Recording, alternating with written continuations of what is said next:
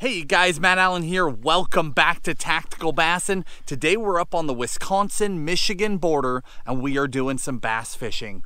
We're up on a smaller lake. This isn't one of those giant reservoirs. We're gonna try and break down a small body of water today and dial it in to help you guys understand these smaller fisheries. This one should have big predators in it. Should have muskie and pike. There should be walleye and there should be bass. We're gonna go out there and try and figure out the bass in a lake where they're not the largest predator. Come along.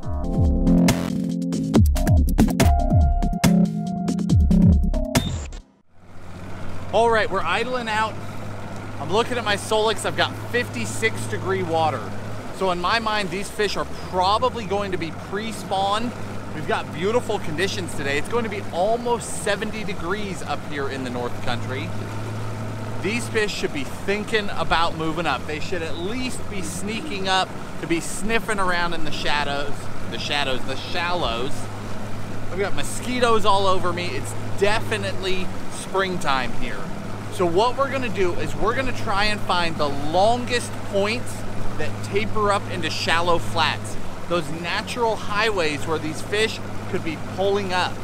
Now the fact that these fish aren't the largest predators can complicate it because sometimes they don't want to be out on the big outside structures because they can get eaten out there. So we're gonna focus again on those tapering points that come up onto those spawning flats, but we're not gonna fish the outsides. We're gonna fish the insides up along the shallows where hopefully those fish are popping up to start thinking about spawning and they can feed before they do it. We'll find out.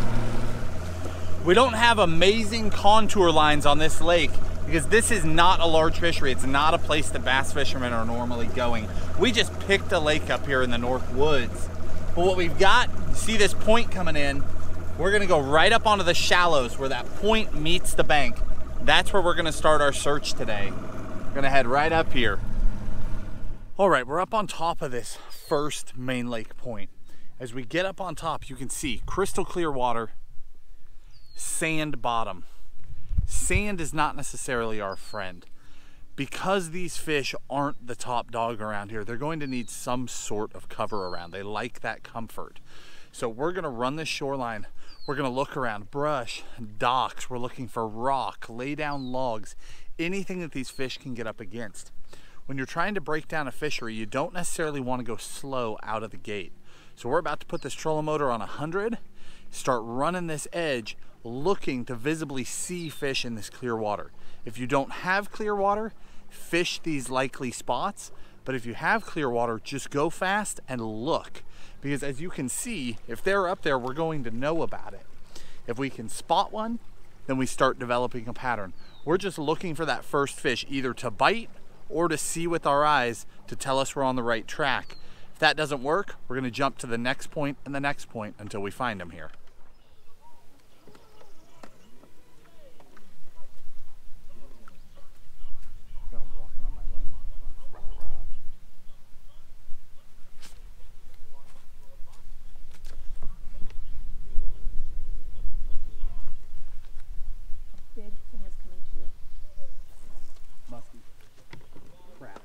What the heck are we gonna do? I know.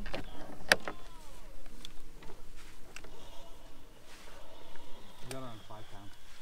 Oh, lovely. I'm gonna have to hand the rod around. Okay. What does that mean? Means oh. rod. Okay, so don't try to net her yet? Yeah, I'm just gonna let her run. Alright. I think she just came off. She just came off.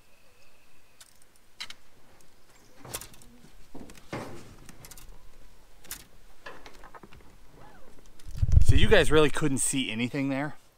Pitched up underneath a pontoon boat with a four inch Roboworm and had a muskie come out and eat it. Hooked her. It was probably only like a mid 30 incher. Not a real, real big fish, but she had me over a rope and behind a pipe. There was a pipe set in the ground holding that pontoon boat. She had me through all of it and I'm using five pound fluoro.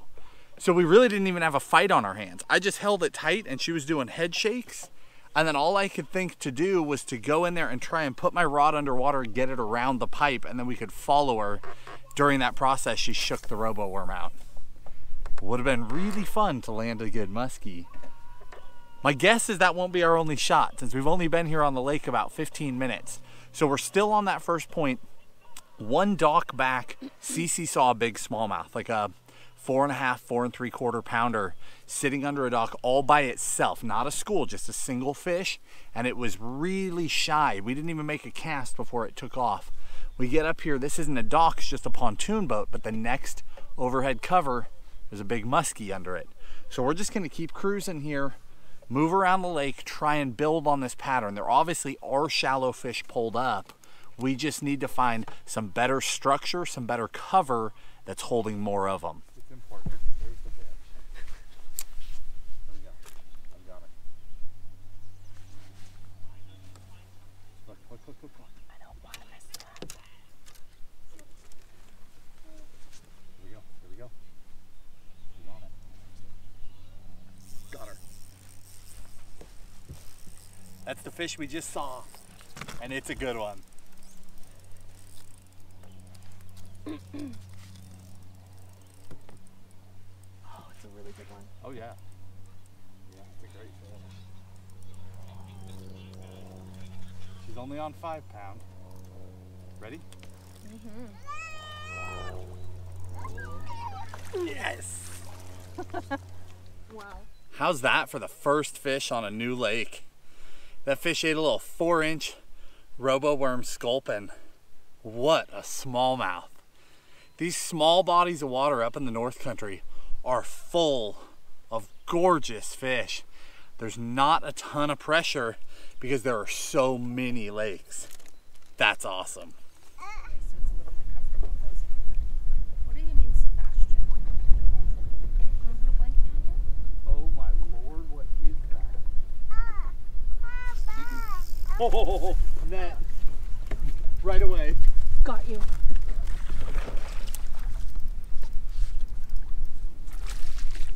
That's not the big one. Come on. Right there. Yes, yes, yes. There was a bigger one with it.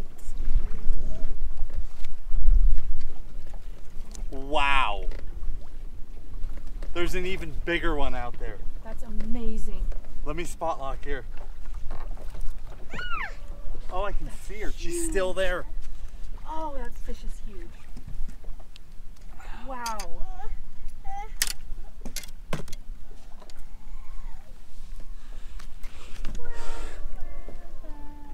What an awesome smallmouth.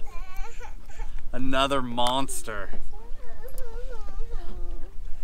How fun just coming out here blind and dialing in these huge fish. Look at that. Wow.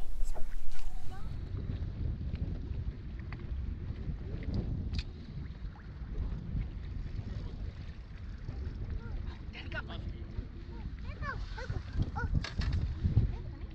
Stay right down here, okay? Stay right there.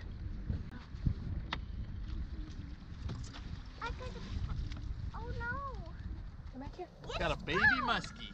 Let's go! Look what Daddy has. Let's go!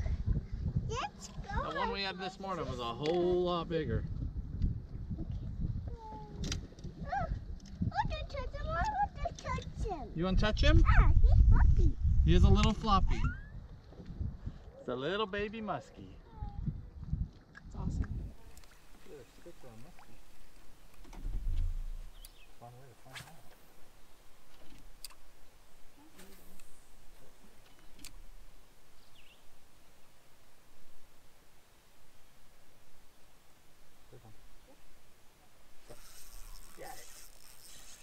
Wow, he came out, darted out of there. That was awesome. That was pretty cool.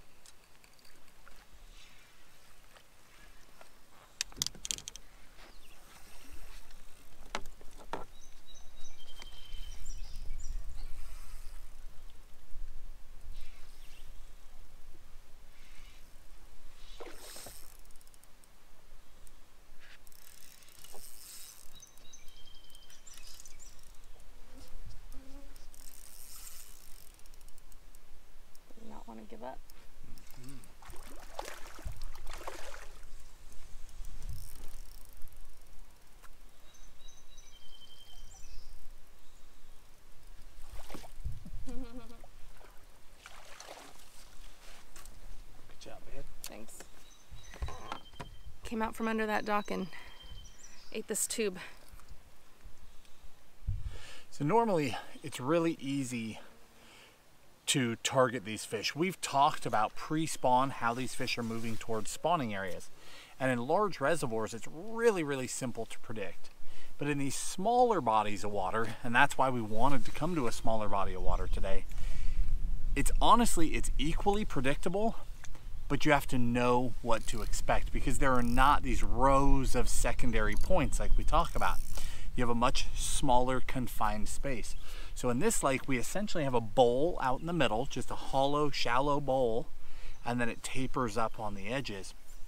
Where it tapers up, you've got a handful of points and humps, and then we've got these big, shallow spawning bays. That's all that we've got. So the fish are going to follow those points up onto those bays, just like they would following a row of secondary points back into a spawning area. But here, the next piece of cover is not going to be these great big expanses of cover and places to feed. So what these fish are going to do is they're going to pull up to any single piece of cover. We caught them today off of logs. We've caught them mm-hmm. off of now docks. As the sun gets higher, they really shift their attention to the pieces of cover that provide a lot of shade, like a small dock. Um, up underneath boats, any small piece of cover, that's what our fish have come off of. And as the sun gets higher, they're going to get deeper and deeper and deeper into those shadows. You're going to see them less out on like a rock pile or a stick and more up underneath a dock or a boat or something like that. And then ultimately they're going to spawn in these same areas, then reverse, head back out those points, back out to the outer edges. Let's keep fishing. All right.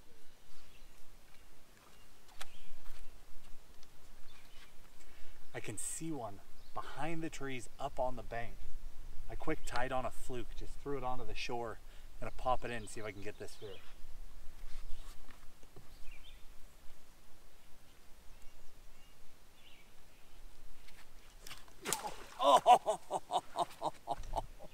He smashed it.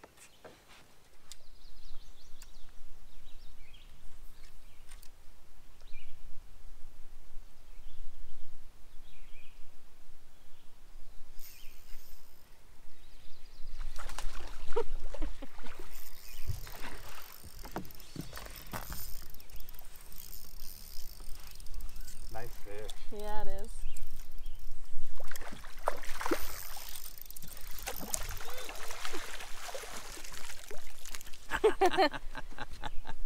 Wow, look at that fish.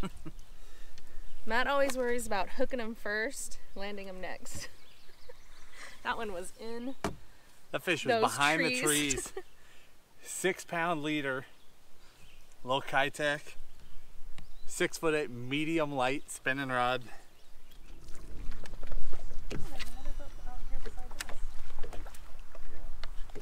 One in both the back there, right? Well, they weren't back.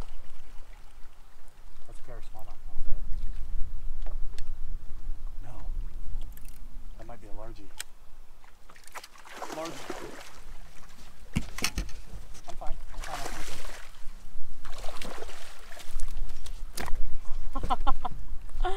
Wow. Now that, that is a northern largemouth right there. Wow.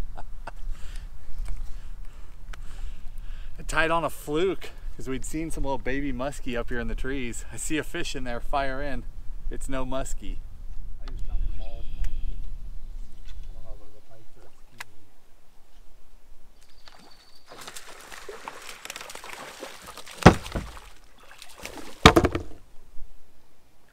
Pike.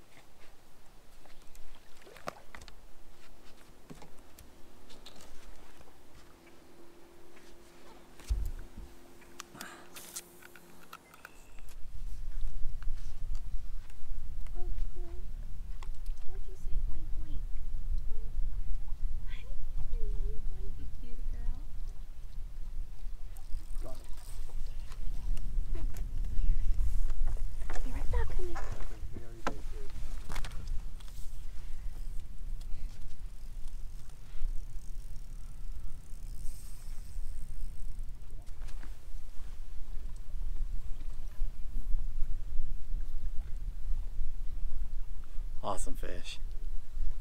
She's been bit by something.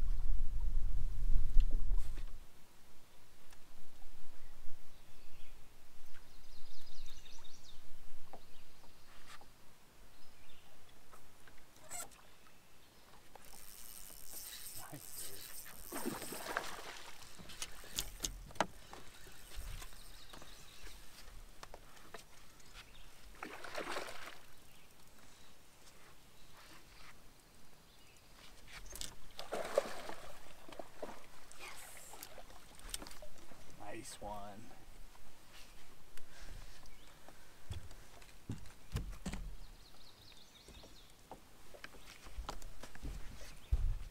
Awesome.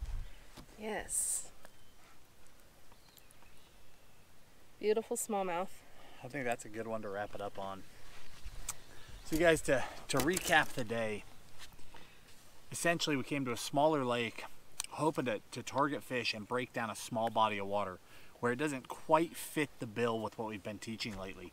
The concepts are the exact same, but you have to focus on a little bit different structures to make it work. And it works. These beautiful fish are pulling up on these tapering points up into the shallows because they're headed to the spawn. And then they get up on every little piece of cover, little floating dock, laid down tree. That first really big one came off a log on the bottom. They're very, very predictable. You're not running a pattern on secondaries. You're not running way up creek arms to get the fish in the back, but you're still running a pattern on a small scale and it works over and over again. We got to catch a bunch of awesome fish today. Hope you guys enjoyed coming along. The three baits that we got them on, got them on a tube, and we'll link you the exact baits down in the video description, but we got them on a tube. We got them on that sculpin on a little modified, uh, a modified, uh, geez, I'm drawing a blank on my own, my own setup. Darter head. Oh, darter head. Um, I don't actually have a darter head out here with us, so I kind of modified another head into one to get the action I wanted. The And then- Roboworm, right? Yeah, that was the Robo. And then throwing a, a 3.3 Keitech on a little screw head was the third one. And we had a blast. We hope you guys enjoyed it. If you did, hit the like button, subscribe to the channel. We'll talk to you soon. Bye.